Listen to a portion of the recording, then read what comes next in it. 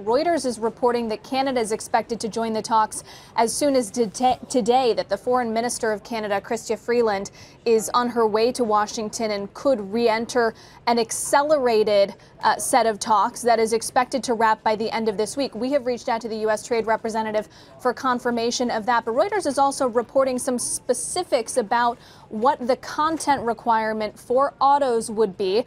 Reuters reporting, according to a senior U.S. trade official, that the deal between U.S. U.S. and Mexico would increase U.S. and regional content in cars to 75%.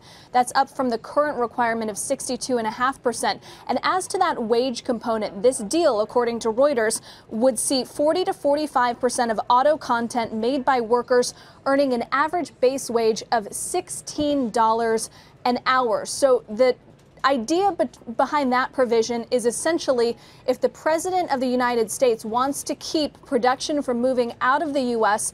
for the sake of cheap labor existing in Mexico alone, well, raising the wage on average for the workers that are producing those vehicles would take away that incentive from those companies. That is a provision that is going to get some pretty swift pushback from automakers who argue that they make cars in Mexico because they sell to a Mexican consumer or for other reasons other than cheap labor. Uh, I've heard automakers privately, when this provision was first aired a few months ago, describe it as Soviet in nature to be demanding a wage uh, be set for the type of production that we're talking about here. Uh, so I imagine that we will get some pushback from the auto industry when this is official.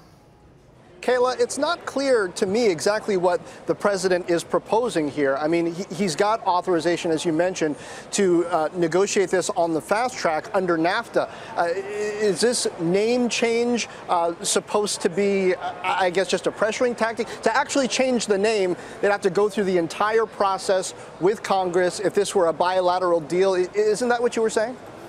Yes, um, it, precisely, John. I mean, to change the name, you would have to basically introduce a uh, new treaty, have it ratified by Congress, have it called something completely different.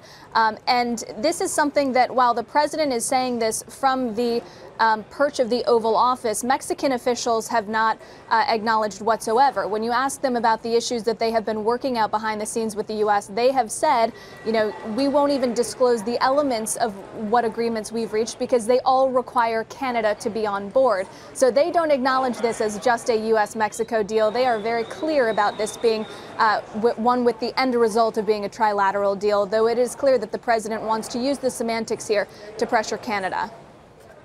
Kayla, any update on this so-called sunset clause? I know that was a huge sticking point in all these negotiations. Have they given any more details around that?